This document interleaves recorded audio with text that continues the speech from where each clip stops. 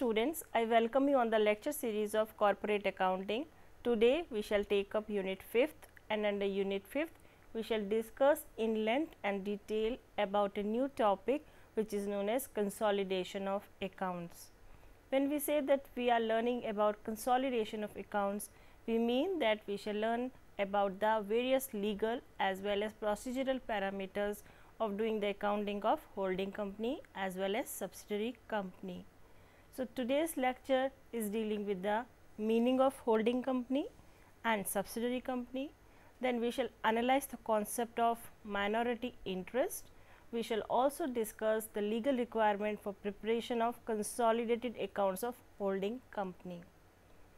Now, a question comes into the mind of the student that what is holding company? So, first of all we will understand the meaning of holding company and when we are able to understand and appreciate the meaning of holding company, we will be able to understand what is subsidiary company.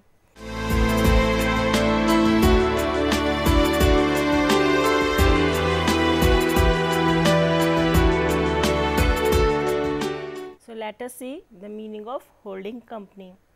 A holding company is one which acquires all or a majority of equity shares of any other company called subsidiary company in order to have control over the subsidiary company. So, this is an academic definition of holding company. Let us analyze this definition in the easy terms. So, a company which controls another company is known as holding company and the company so controlled is termed as subsidiary company. So, the holding company is the controlling company while the one which is being controlled is known as subsidiary company. For example, A limited is a company and it holds a control over B limited. So, A limited will be holding company and B limited will be its subsidiary company. So, here what we are going to do is that we need to consolidate the accounts of B limited into A limited. So, consolidation will be in the books of holding company. Now, let us analyze what is this control, how it is going to exercise this control so that it becomes holding company. So, there is a section under Companies Act 1956 and it is known as section 4 of the Companies Act 1956 which has described subsidiary company and let us understand with the help of this section that what is holding company. Section 4 of the Companies Act 1956 provides that a holding company is one if it is controlling the composition of board of director of another company or holds more than half of the nominal value of equity share capital of another company or is a subsidiary of any company which in turn a subsidiary of another company. So, let us understand what we mean by the control which is being exercised by holding company the first one is that it exercises control over composition of board of directors. That means the holding company has a say in the board of directors. The directors in the board of the directors in a subsidiary company can be the representatives of the holding company or they can be the same directors as in the holding company and they hold more than half of the nominal value of equity share of the another company. So, B limited in our example is the subsidiary company now, the second condition is that it holds more than half of the nominal value of the equity shares of another company. So, we have taken up example where A limited is a holding company and B limited is a subsidiary company. So, if the subsidiary company is having a share capital of around 1 lakh and out of this paid up capital of 1 lakh, if 51,000 rupees is being held by A limited in the B limited, we can say that A limited is a holding company of B limited because it is having more than half that is more than 50 percent of the nominal value of the share capital of B limited. So, these two are very important terms and conditions which are necessary to understand what do we mean by control. The third one is that the holding company is a subsidiary of any company which in turn a subsidiary of another company. So, the subsidiary company of a subsidiary company will also be a subsidiary company of the holding company.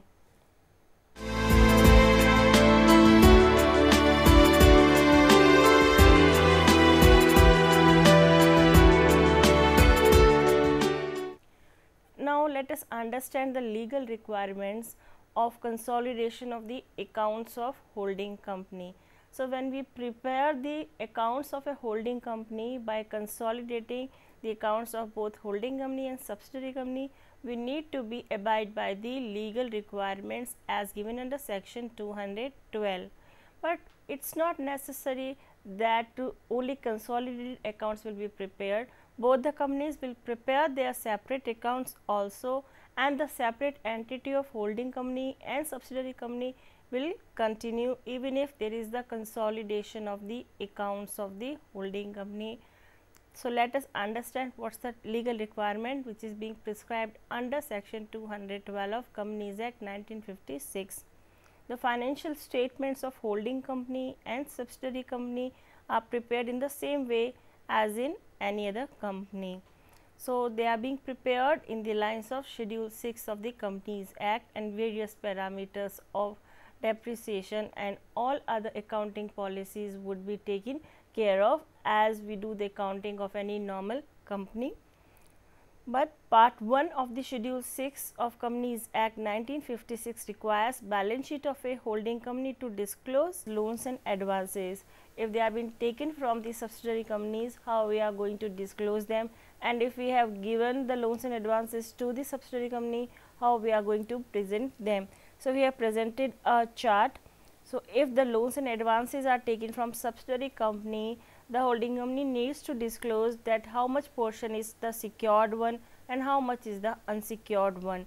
Similarly, if the loans and advances are being provided to the subsidiary companies, then we need to disclose in our financial statements when we prepare the consolidated financial statements uh, that how much is the advances and loan good in and in respect of which the company is fully secured. That means good and fully secured is one condition in respect of the loans and advances given to subsidiary company. Secondly, good and in respect of which company holds borrowers personal security only. That means they are not fully secured and the third one is the bad and doubtful. So, we need to disclose all these sort of the categorization of loans and advances in our disclosure requirement in relation to the transactions which is being entered on account of loans and advances with the subsidiary company by the holding company.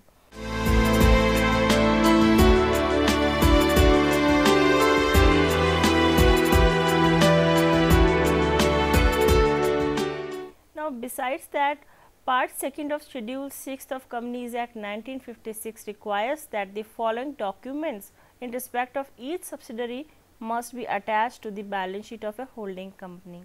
So, here the requirement is for each company. If A limited is the holding company and B limited is its subsidiary company, it there can be C limited also of whose control is being taken over by A limited. So, we need to disclose all the requirements which are being given in relation to subsidiary company which will be applicable both to B limited and C limited. So, what we are going to give in the form of the attachment with the balance sheet are a copy of the balance sheet of subsidiary, copy of the profit and loss statement of subsidiary, report of the board of directors of subsidiary, they shall all form the part of our consolidated financial statements a statement of interest in subsidiary and change in company's interest during the last year. Then fifth one is auditor's report of subsidiary and if any information is not available details about that part 1 and second of schedule 6 regarding holding company are required to be given. Now, what is this part 1? The holding company's balance sheet must merge with the balance sheet of subsidiary and under part 2 P&L account of holding company must merge with the P&L account of subsidiary company. So, in all we are going to merge the all the financial statements that is P&L and balance sheet.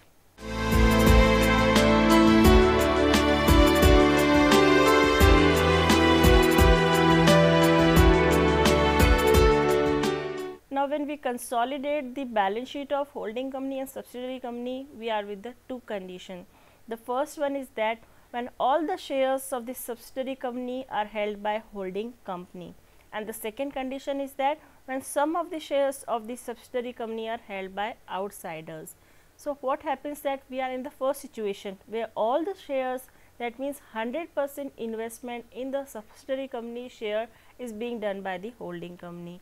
Holding company is having 100 percent share capital of subsidiary company. In that case, there is a principle of doing the consolidation that we have to merge the net assets of the subsidiary company and eliminate the investment. And when some of the shares of the subsidiary companies are held by the outsiders, we need to take care of the interest of the outsiders and to the extent of the interest of the outsiders or to the extent of the shares of the outsiders we need to proportionate the net assets and it would be reflected as a liability of the company under the liability side of balance sheet under the head minorities interest. So, first of all let us analyze the situation when all the shares of the subsidiary are held by the holding company that means how we will do the accounting of 100 percent subsidiary.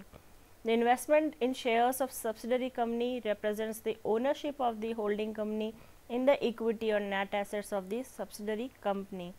So, net assets here means total assets minus liabilities or we can say that net assets is share capital plus reserves plus profit and loss accounts balances and many more reserves. So, when they are consolidated we are able to get the figure of net assets. So, now we are going to merge these net assets. So, the principle of consolidation for a 100 percent subsidiary company's consolidation with the holding company is that investment of the holding company in share of the subsidiary company to be replaced by net assets.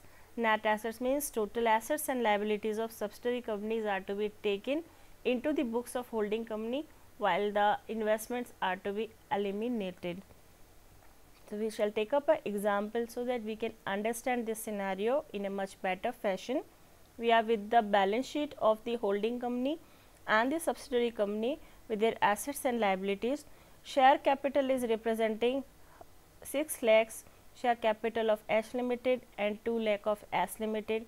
P&L account is reflected in H Limited as 80,000 and sundry creditors as 75,000 and 48,000 for both the companies. So, together the total of the liability side is 7 lakh 55,000 for H limited and 2 lakh 48,000 for S limited. Now, coming to the asset side, first of all we are having sundry assets of 5 lakh 55,000 for H limited and 2 lakh 48,000 for S limited.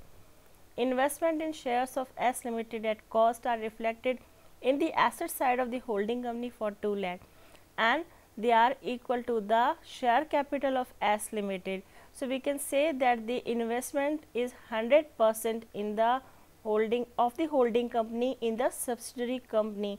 So, they have invested almost around 100 percent of the share capital of the subsidiary company. Now, we are going to prepare the consolidated balance sheet of the holding company and its subsidiary as on 31st March 2008. So, let us see how we are going to solve this question and prepare a consolidated balance sheet.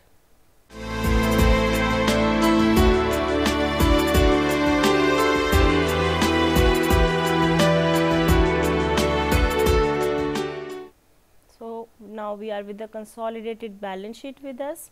It is on the asset side sundry assets of both the companies are being added H Limited as they are already having 5 lakh 55,000 and S Limited's assets are being added up. They are 2 lakh 48,000.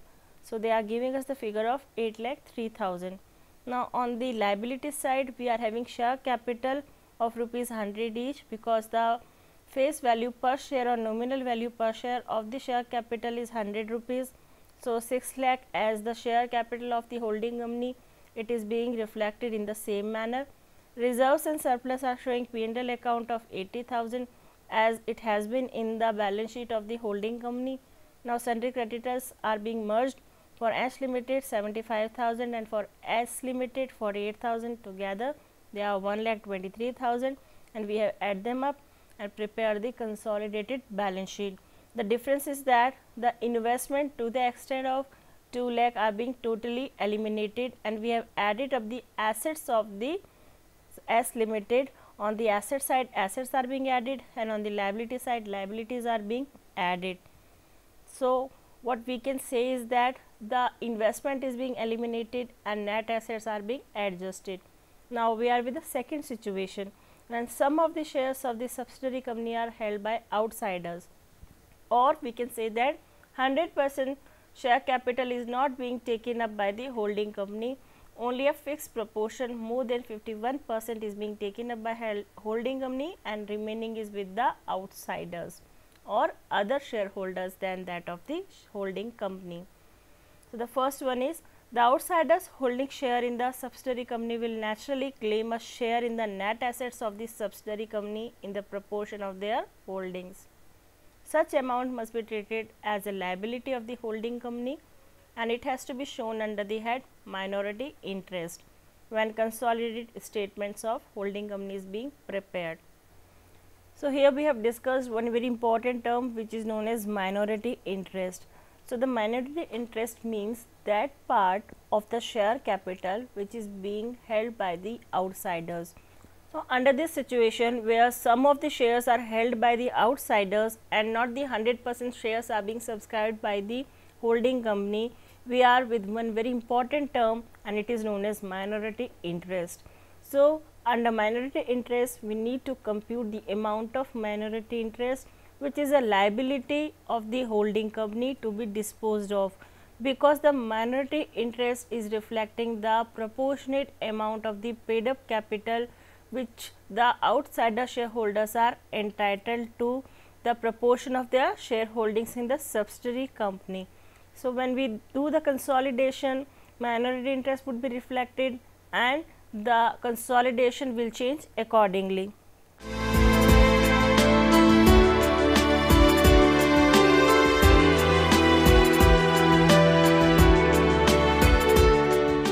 So, we will do the consolidation of all assets and liabilities of subsidiary company with the holding company which will eliminate the investment of the holding company in the shares of subsidiary company as we have done in our previous situation where all the shares are being taken by the holding company. So, assets and liabilities would be taken up and the elimination of investment would be done, but an important step is that we need to ascertain the minority interest also. So, here is an example the share capital of H limited and S limited are being given to us and it is 6 lakhs for H limited and 2 lakh for S limited and the face value of the share is rupees 100 per share. P&L account of H limited is 80,000, sundry creditors of H limited 75,000 and that of the S limited is 48,000. So, here is an example the share capital of H limited and S limited is being given to us on the liability side and it is 6 lakh for H limited and 2 lakh for S limited. P and L account is being given and it is 80,000 for the holding company which is being represented as H limited. Sundry creditors are 75,000 for H limited and 48,000 for S limited. So, the liability sides total is 7 lakh 55,000 and the S Limited's liability sides total is 2 lakh 48,000. Now, coming to the asset side, we have sundry assets for H Limited as 6 lakh 5,000 and S Limited 2 lakh 48,000, while the investment in the S Limited by the H Limited is 1500 shares in S Limited at cost and it is 1 lakh 50,000. So, here we can see that out of the share capital of 2 lakh 1 lakh 50,000 is being taken up by the holding company. So, we can say that around 50,000 shares are being taken up by the outsiders. So, we need to find out the minority interest to the extent of the shareholdings of the outsiders and we will do the proportion of the net assets of the company and net assets we know that we can compute it as assets minus liabilities assets are 2 lakh 48,000 and liabilities are 48,000. So, we will do the one fourth of 2 lakh to ascertain the minority interest. So, as we will move towards solution, we will do this step by step calculations. So, our question says to us that prepare consolidated balance sheet of holding company and its subsidiary as on 31st March 2008. So, this is the two set of the assets and liabilities for both the holding and subsidiary company now, the balance sheet which we are going to prepare is a consolidated balance sheet of holding company and it will be reflected as on 31st March 2008 as such liabilities would be showing the share capital having the shares of 100 each that is 6 lakhs. Minority interest we have calculated to the extent of rupees 50,000. We will see the working note that how we have prepared it. Reserves and surplus that is P and L account of 80,000 of holding company is being reflected as such. Sundry creditors for S limited are given as 75,000 while that of S limited is being incorporated into the consolidated statements of the holding company and we have added up here 75,000 plus 48,000 they are giving us the figure of 1 lakh 23,000. Now, on the asset side we have the sundry assets of S limited 6 lakh 5,000 and S limited 2 lakh 48,000. So, together when we add up 6 lakh 5,000 and 2 lakh 48,000 we are having the assets as 8 lakh 53,000. So, the balance sheet is being matching up the total of liability side and that of the asset side is equal and it amounts to 8 lakh 53,000. Now, let us see the important notes in this question. In this case, out of 2000 shares of S limited, 1500 shares are held by H limited. Therefore, number of shares held by outsiders are 2000 minus 1500 and it amounts to 500 share which is one fourth of the total shares because one fourth of 2000 is 500. So, net assets of S limited are being computed they are total assets are 2 lakh 48,000 of S limited and we have subtracted the liabilities of 48,000. So, the net assets of S limited are 2 lakh and its one fourth is is 50,000 which is the claim of the outside shareholders in the net assets of the subsidiary company S limited and it is being reflected in the balance sheet which we have prepared.